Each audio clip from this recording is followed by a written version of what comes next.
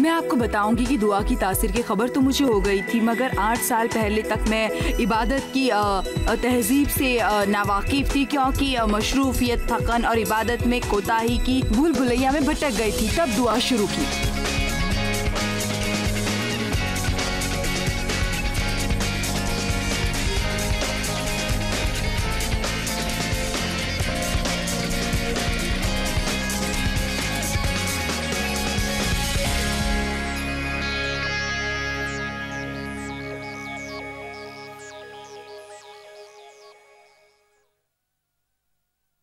लुत्फ रोज़मर्रा की ज़िंदगी का मैं खुश आमदेद यहाँ आने का शुक्रिया। आज का प्रोग्राम मैं एक सवाल से शुरू करूँगी।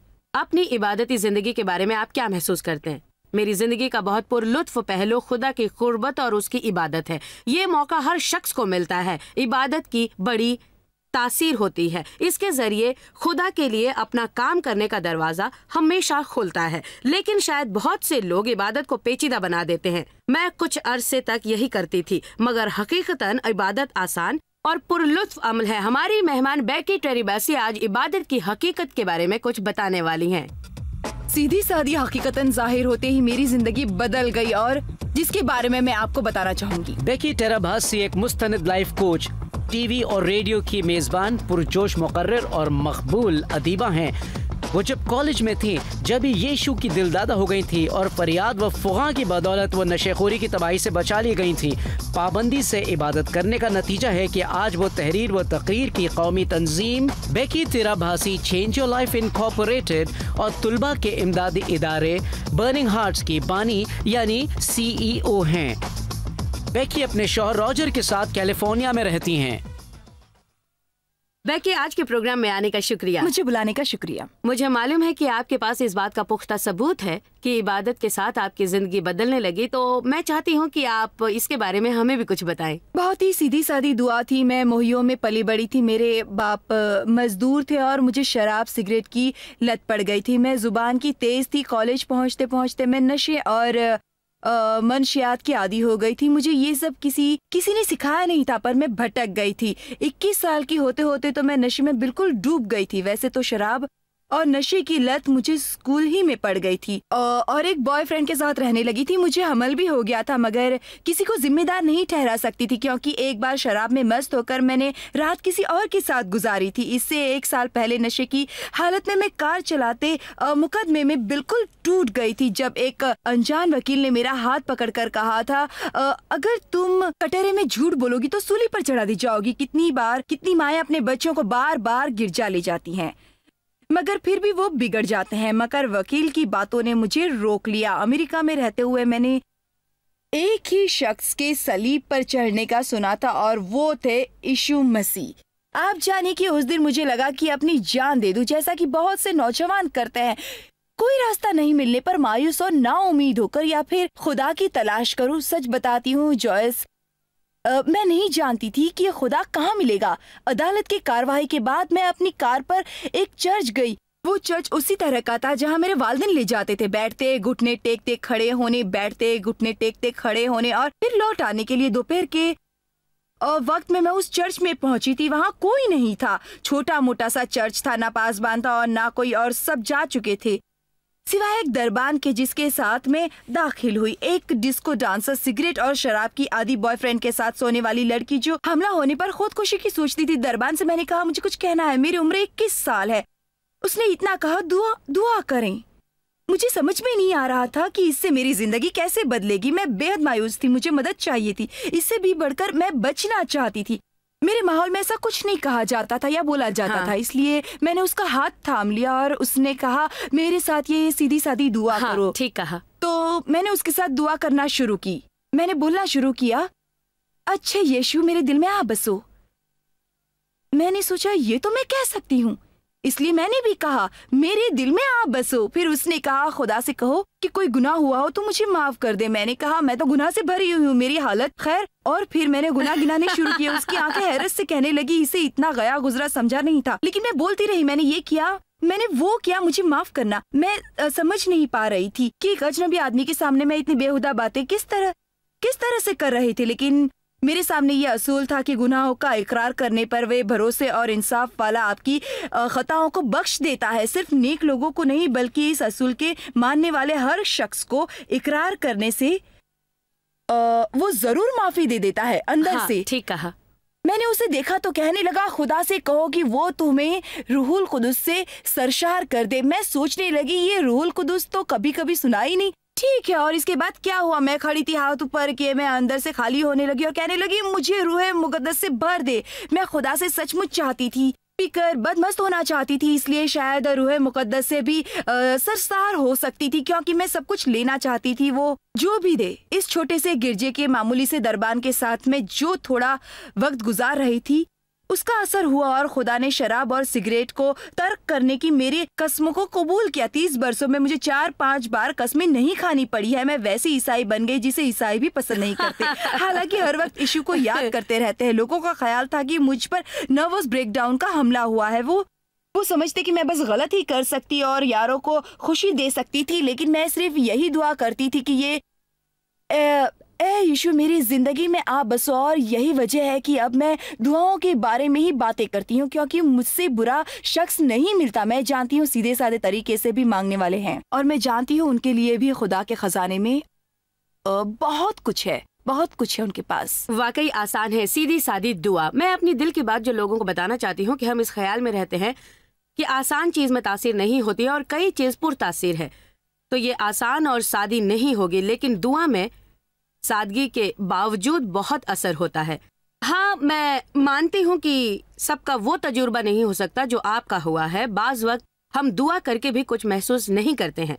किसी तब्दीली का एहसास नहीं करते हैं, लेकिन कोई उमंग या गर्म पानी से नहाने की ताजगी या ऐसा ही कुछ महसूस कभी भी नहीं करते हैं, लेकिन फिर भी ये अंदाज़ा होता है कि अरे मेरी ज़िंदगी में कुछ फ़र्क आ रहा है। बुज़ुर्गों के मकुले मेरी पसंदीदा चीज़ है जिसमें दुआओं के मुतालिक लोगों की राय हैं और जिसमें ये कहा गया है कि दुआ की हैसियत दो चाहने वालों की गुफ्तगु जैसी है।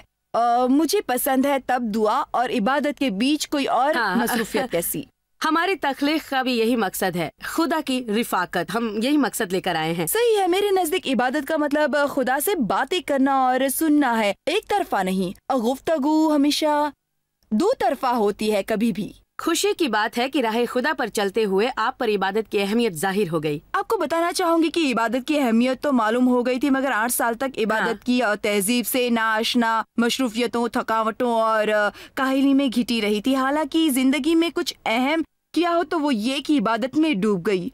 एंड्रू मरी ने कहा है कि शैतान का सबसे बड़ा हरबा ईमान वालों को इबादत से दूर रखना है, इसलिए उठते ही ये कहना चाहिए कि मुझे खुदा से बात करने में अड़गा लगाया जा रहा है, जिससे जिससे मेरी ज़िंदगी बिल्कुल बिल्कुल बदल सकती है। मुझे बाइबल का वो हिस्सा याद आता है, जिसमें ये बताया गया है कि किस तरह पाकबाज आदमी को पुरजोश और पुरखुलस इबादत से ज़बरदस्त कुत मिलती है। लेकिन हम लोग ऐसे हैं कि ये मालूम हो जाने पर भी इबादत नहीं करते हैं। हम सबों को अपनी बे इंतहा मसरूफियतों, थकावटों और रुकावटों से दो दो हाथ करना पड़ता है। ये मुश्किल है, शैतान पूरी कोशिश करता है कि हम पाबंदी से इबादत की आदत ना डालें, मगर ये आदत पड़ जाती है तो वही होता है जो मेरा हाल हुआ है कि खुदा के साथ वक्त ना गुजारूं। तो पूरा दिन मुझे कुछ अच्छा नहीं लगता है। ऐसा लगता है कि आज आज दिन में कुछ एक दिन मैंने कमी इरादा कर लिया खुद को मैं जानती थी अक्सर लोगों को आ, फैसला करने के लिए उकसाना पड़ता है।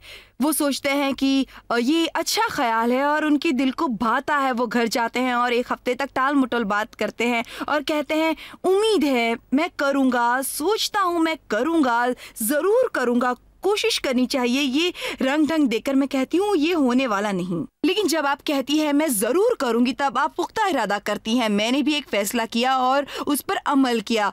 उस वक्त मैं उन्नीस साल की थी और एक छोटे बच्चे की माँ थी। मैं नौजवानों के लिए काम करती, जिनके पास वक्त नहीं होता था। असल में वो वक्त बर्बाद करते थे। मैंने आज से तेईस साल पहले उम्र भर रोज़ाना एक घंटा इबादत करने का फैसला किया था। मेरे लिए इतनी देर चैन से चुप रहना मुमकिन नहीं था। मगर इबादत की खूबियाँ जान गई थी कि इससे मेरे दिन बदल जाएँगे। इसकी बदौलत मैं खुदा का हुक्म बजा ला सकूँगी क्योंकि उससे पूछूँगी आज मेरे लिए क्या हुक्म है? बजाय इसके कि मैं कहूँ कि आज का दिन गुजर गया। जिस घड़ी आप इबादत इबादत करते हैं अपने नाजरीन के लिए मैं ये कहती हूँ कि हर आदमी का मुकर्रा वक्त नहीं होता। इसलिए अक्सर लोग सोचते हैं कि उन्हें दूसरों की तकलीद करनी चाहिए मगर मैं लोगों से कहती हूँ कि शुरू कर देना चाहिए अपने अकीदे के मुताबिक पाँच ही मिनट करें और घंटे दो घंटे की बिल्कुल भी फ़िक्र ना करें, मगर पाबंदी से करें। रहा सवाल ये कि खुदा के हुजूर रहते वक्त आप क्या करते हैं? सिर्फ़ इबादत करते हैं। खुदा से हम कलाम होते हैं, उनसे रू रूबरू होते हैं, कुछ पढ़ते भी हैं।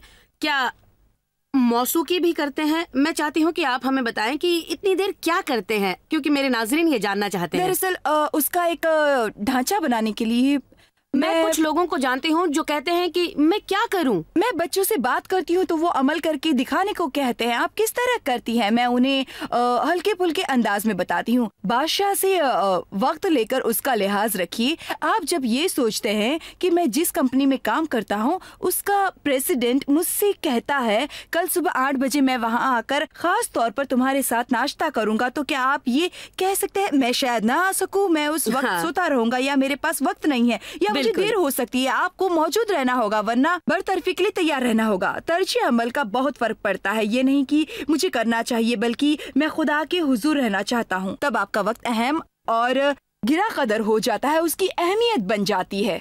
हाँ। आपको लगता है कि उस वक्त आपका कुछ तकलीफी महसूस मैं खुदा है? से बोलती और सुनती हूँ तहरीरी शक्ल में। हाँ इस तरह खुदा आपके ज़रिए काम करता है। क्योंकि मैं ख्वाबों की दुनिया में रहने वाली शख्स हूँ कहीं भी मेरा ध्यान भटक सकता है किस इसकी रसीद नहीं दी जाती है। बचपन में इसका सबब बताया जा सकता था।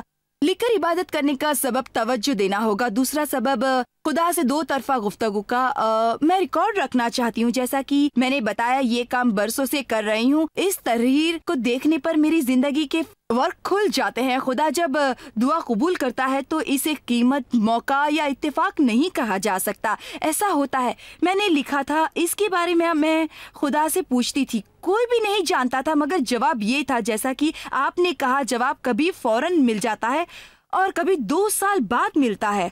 लिख लेने पर हर बात सामने रहती हाँ। बाइबल में भी कहा गया है कि मांगो तो तुम ज़रूर पाओगे।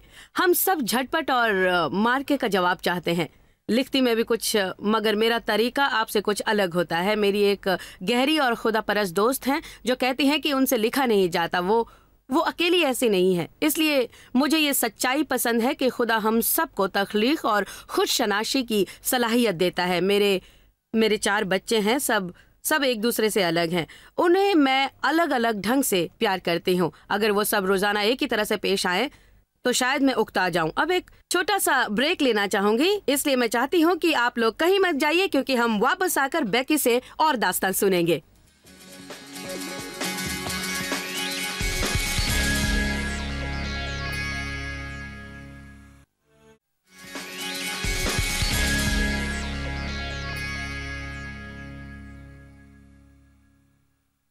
कुछ लोग ये सोचकर इबादत करते हैं कि उन्हें करना चाहिए। कुछ लोगों को इबादत के लिए मजबूर किया जाता है और कुछ मुसीबत के वक्त खुदा को याद करते हैं। लोगों से उनकी इबादत का सबब पूछा गया तो बाजों के जवाब इस तरह थे तो सुनिए। आप इबादत क्यों करते हैं? मैं खुदा का बंदा हूँ उसका दीदार चाहता हूँ। क्योंकि इस तरह वास्ता बना रहता है कभी कभार क्यों? क्योंकि इस तरह तस्किन मिलती है। मैं मानती हूँ कि कहीं खुदा है यहाँ नहीं दिखाई देता, मगर ज़मीन पर भी वो मौजूद है। हाँ मैं मानती हूँ वो ज़मीन पर मौजूद है। आपका ख्याल है कि वो कहीं मौजूद है और कहीं नहीं? नहीं, मेरे ख्याल में आमतौर पर वो मौजूद नहीं होता है, क्योंकि अगर वो हो तो वो नहीं होता जो हुआ है, जैसा कि अफ्रीका और मशरकी यूरोप में। वो नहीं होता।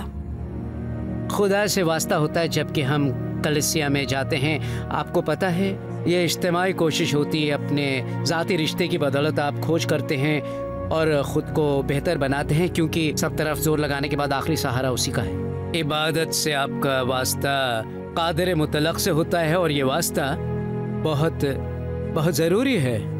कादिर मुतलक से आपकी क्या मुराद है? गॉड अल्लाह अजल से हम पैदा करने वाले को याद करते आए अलग अलग नामों से। जी। मैं महकमे सेहत में काम करती हूँ और तहे दिल से दुआ और इबादत पर यकीन रखती हूँ और जानती हूँ कि इसका लोगों की सेहत पर कैसा असर पड़ता है। रहनुमाई और हिदायत के लिए ख़ास तौर पे मैं इबादत करता हूँ। आमतौर पर मैं अपने लिए दुआ करता हूँ ताकि दिन बखैर व खूबी गुजर जाए कोई अनहोनी ना हो। अपने ख़ानदान के लिए दुआ करता हूँ कि उनके साथ भी कोई हादसा ना हो।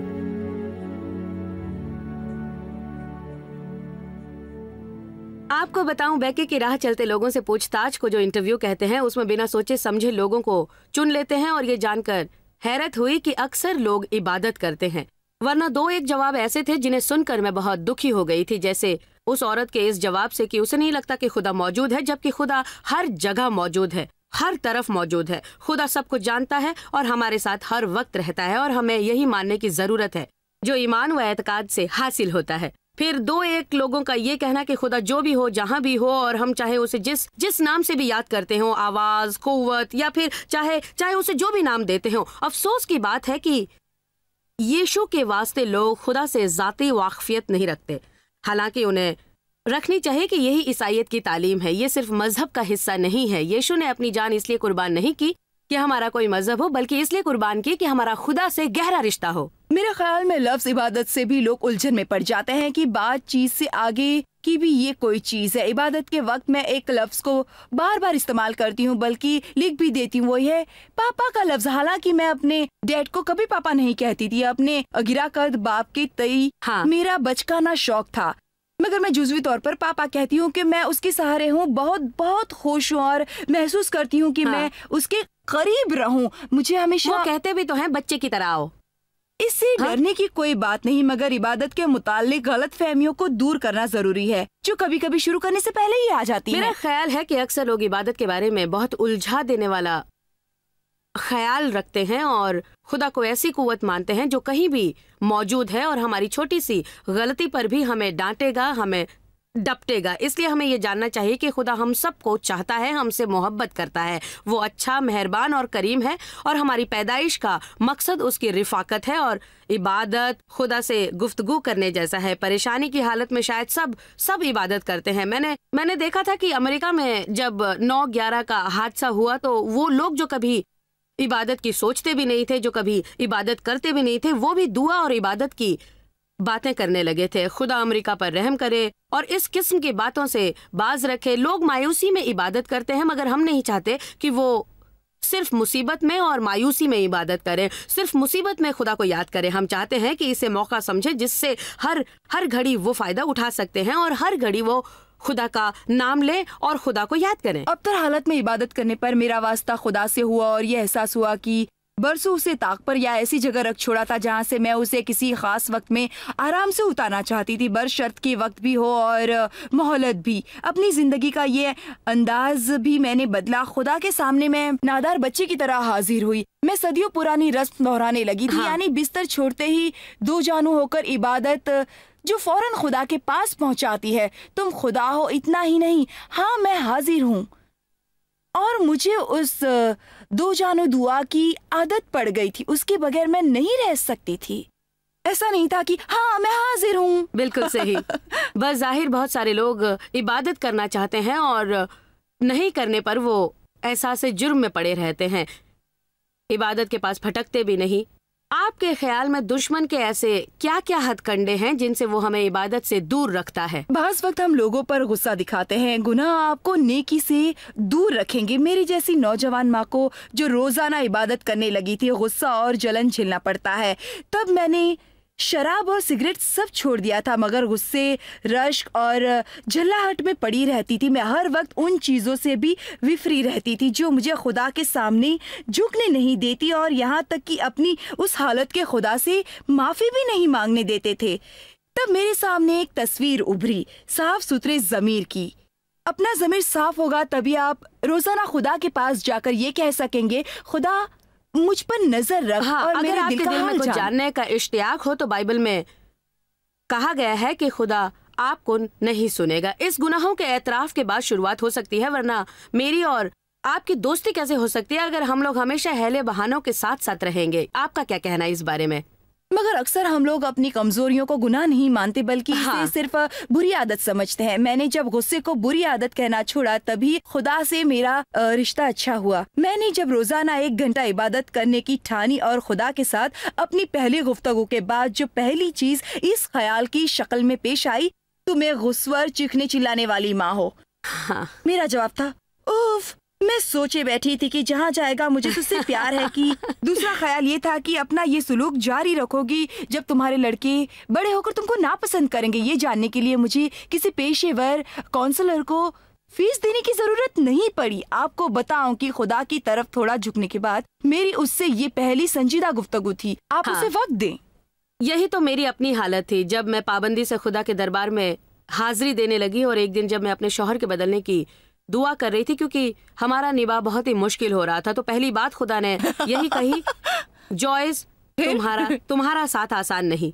तुम्हारे साथ निभा करना बहुत मुश्किल है। तो पहले तुम बदलो। खुदा की कोई खास बात होती है जब वो आपसे बहुत निजी बात करता है। ये भी नर्म लहजे में होती है और इससे बचा भी नहीं जा सकता है। आप उसे ये कहते सुन सकती हैं, बचने का तरीका है। इसके लिए आपको आजीजी के साथ खुदा को बदलना और किसी से माफ़ी मांगनी होगी और वे इन कामों के लिए भी हौसला देता है। आपकी ज़िंदगी की छोटी छोटी चीज़ों को बदलने की भी उसमें ताकत होती है और खुदा आपको एक दिन में नशेबाज से संजीदा बनाने की कुत रखता है। बस शर्त कि आप खुदा की मुबारक रूह को अपने पास आने दें। बिल्कुल सही। वो आपको बेशक बदलता है। जिस दिन खुदा ने मुझसे कहा था कि तुम्हारा साथ आसान नहीं, तुम्हारे साथ जीना मुश्किल है, उस दिन से मेरे यहाँ बहुत तब्दीली आ गई है। सच ये है कि उस खास दिन के बाद इबादत या खुदा की रिफाकत के दौरान लगातार तीन दिनों तक खुदा ने मुझे बताया कि मेरा घर में रहना कैसा था। मेरे वालिद एक शराबी और गुस्वर आदमी थे। उन्होंने मेरी इज़्ज़त लूटी थी। गोया मेरा पस मंजर भयानक और झालमेल वाला था। मेरी रूह पर ये सारी छापें थी जिनसे निपटना ज़रूरी था। इसके लिए खुदा को अंदर उतर कर खूब गहराई तक सफ़ाई करनी पड़ती है। तब कहीं हमारी ज़िंदगी सुधरती है। इबादत का ये मतलब नहीं कि आप उन चीज़ों की लिस्ट लेकर आए जो आपके लिए वो कर दे। पहले उसे आपसे निपटने दीजिए। पासबान हेनरी का कहना है, आओ और अपनी मजबूरियों को झटक दो। अगर कोई ये सोचता है कि उसकी कोई मजबूरी नहीं जिसे झटका जाए तो वो खुद को बेवकूफ़ बनाता है। मैंने हर दिन तेईस साल तक इबादत की है। और एक दिन भी ऐसा नहीं गुजरा कि मैंने कहा हो आज कुछ नहीं है। हर दिन खुदा हर दिन खुदा मेरी ज़िंदगी के किसी गोशे को साफ़ बेहतर बनाना छूना दुरुस्त करना और आराम पहुंचाना चाहता है। खुदा के साथ रूहानी तजुर्बा होता है जो हम उसकी सोहबत में वक्त गुजार कर हासिल कर सकते हैं। हाँ हमारे नाजरीन को ये अहम बात समझनी चाहिए कि वो अपना वक्त खुदा के ध्यान में लगाए।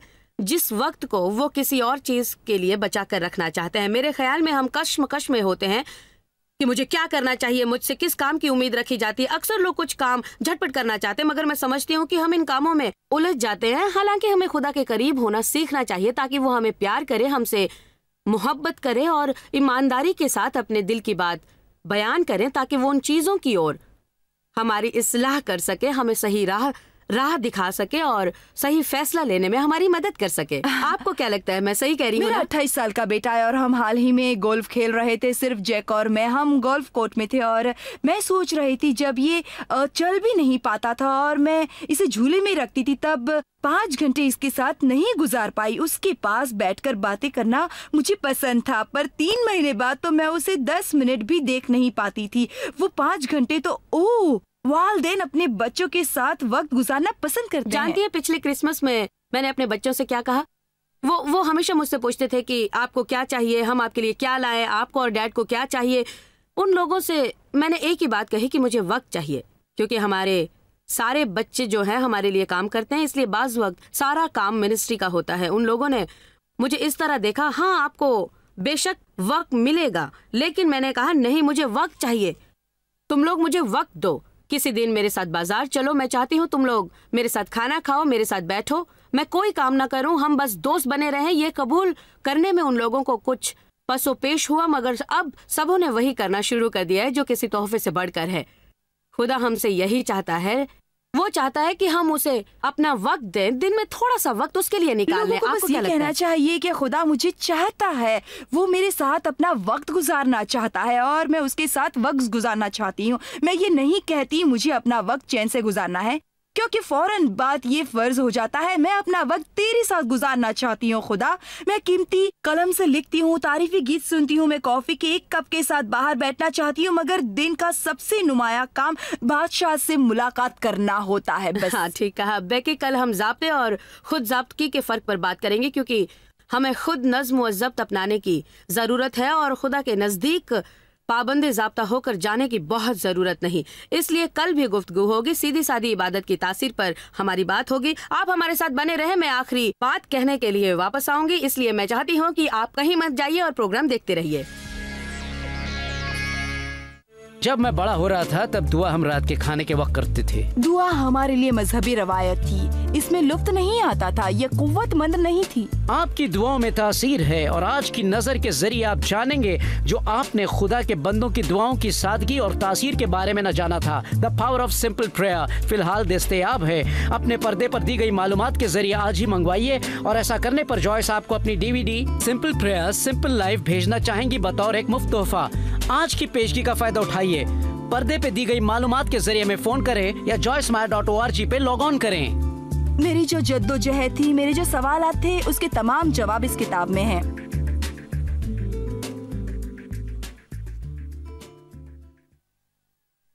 आप पर यकीनन खुदा का करम होगा। मेरी किताब the power of simple prayer को पढ़कर जिसके साथ आपको मेरी मालूमाती CD simple prayer simple life भी बिला कीमत दी जाएगी। हमेशा याद रखिए कि इबादत से वो दरवाज़ा खुलता है जिससे होकर खुदा आपकी ज़िंदगी संवारता है।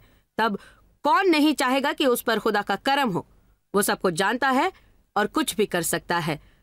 वो हर वक्त, हर जगह होता है, कादिर मुतलक है और हम सबों से ज़्यादा मुस्तैद है। इसलिए मेरी तमन्ना है कि खुदा मेरी ज़िंदगी को संवारे और यही उस वक्त हो सकता है जब हम इबादत करें और खुदा को अपना काम करने का मौका देने के लिए अपना दरवाज़ा खोल दें। कल हम लोग बैकी तेराबैसी से और सीखेंगे। मैं भी उनके साथ खुदा की बात सुनने के तरीके और जबते और खुद जब्तगी के फ़र्क पर बात करूँगी। इसलिए कल भी ज़रूर आइए और सीधी सादी इबादत के ज़रिए इसकी तासीर के बारे में बहुत कुछ जानिए और ये भी जानिए कि खुदा के लिए वक्त निकालना आपके लिए बहुत ज़्यादा मुश्किल नहीं है। ये बहुत ही आसान काम है। खुदा की रहमत हो। जॉय स्मायर मिनिस्ट्री आपकी उम्मीदों से ज़्यादा है। आपके लिए आप सबका यहाँ आने के लिए शुक्रिया। और शुक्रिया उन दोस्तों और वालदेन का जिन्होंने इसे दुनिया भर में फैलाया।